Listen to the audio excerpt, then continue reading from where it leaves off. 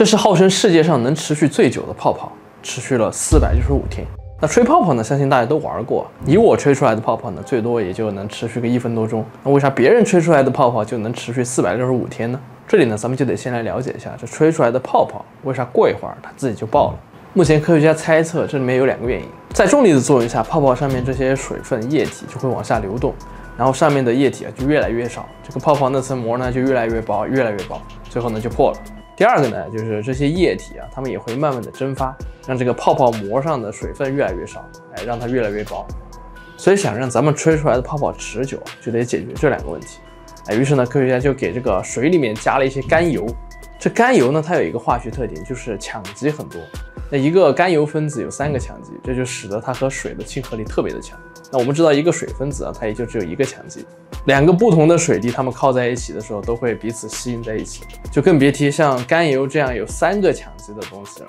所以，我们经常会看到甘油被用在食物里面当做一个保湿剂，就是因为它吸水能力很强，哎，强到可以直接把空气当中的水分给直接吸过来。那它吸过来的这些水分呢，就可以补充泡泡本身蒸发掉的那些水分。这水分的问题解决了，剩下的呢就是要解决重力的问题。你怎么样阻止它那个上面的液体往下流动？那想让泡泡上面的液体一直持续在上面呢，不流下来，哎，就相当于让一个人他一直在天上不掉下来是一样的。关于后者呢，我们的办法就是修高楼大厦，对吧？就可以让这个人在天上一直处于那个高度不掉下来。所以科学家的想法就是给泡泡修一个高楼大厦。那修这个高楼大厦的材料呢，就是一种塑料微球。这个操作呢也很简单，就是把这种塑料微球往水和甘油的混合物里面一倒，然后拿个注射器在那个水下面吹个泡泡起来，最后呢把这个吹起来的泡泡在这个塑料微球里面滚一圈，让它尽可能的被这种塑料微球完全给包裹住。如此一来呢，一个能持续四百六十五天的泡泡就诞生了。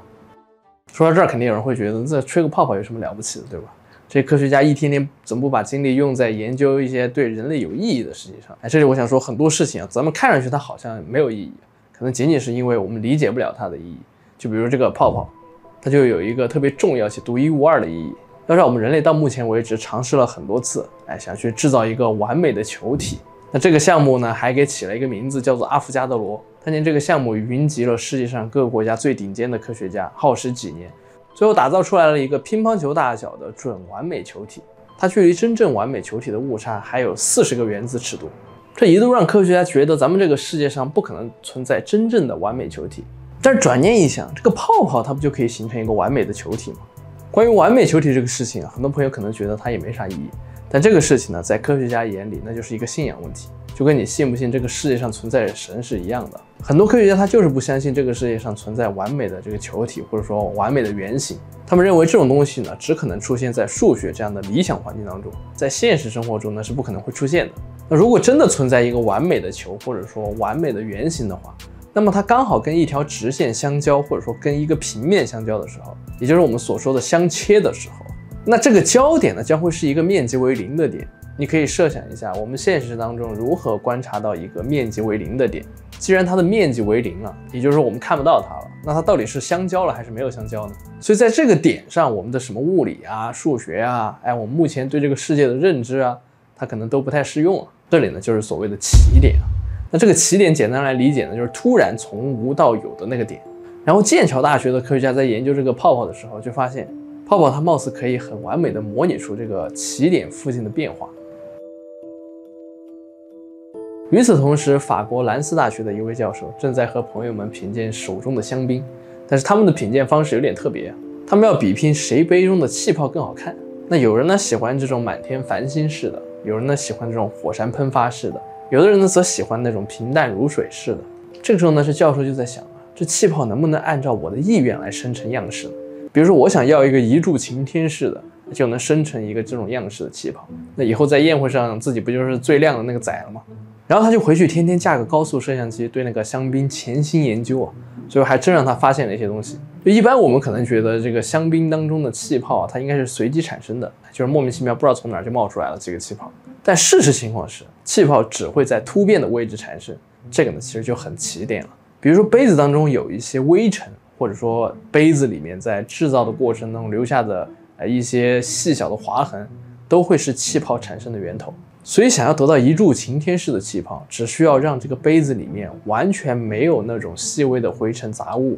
然后让这个杯子除了底部正中间有划痕，其他部位没有一点划痕的话，哎，那么我们就可以看到一个一柱擎天式的香槟啊。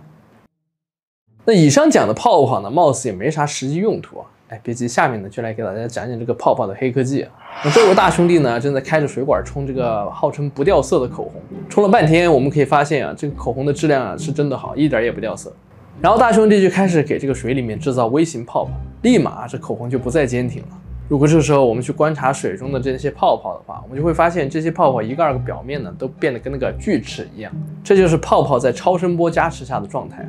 那每个泡泡呢都变得跟一个小刷子一样。这一点呢就被我们用在了超声波清洗技术里面。